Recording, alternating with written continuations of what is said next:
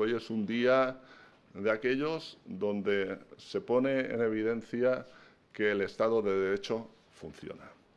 Y funciona porque gracias a esta proposición de ley que presenta el Grupo del Partido Popular, es la garantía de que nadie volverá a incumplir las resoluciones del Tribunal Constitucional, sea de donde sea.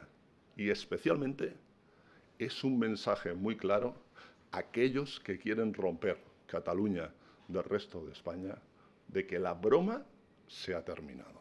Es la evidencia más clara que podíamos tener en nuestro sistema y en nuestro país de que nadie va a proclamar la independencia de Cataluña.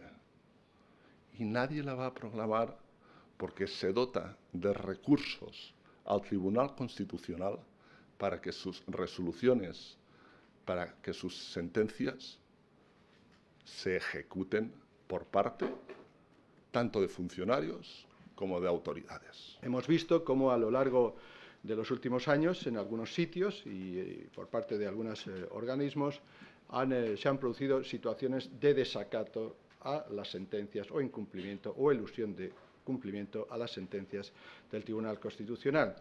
Y esto, pues evidentemente, se tiene que acabar.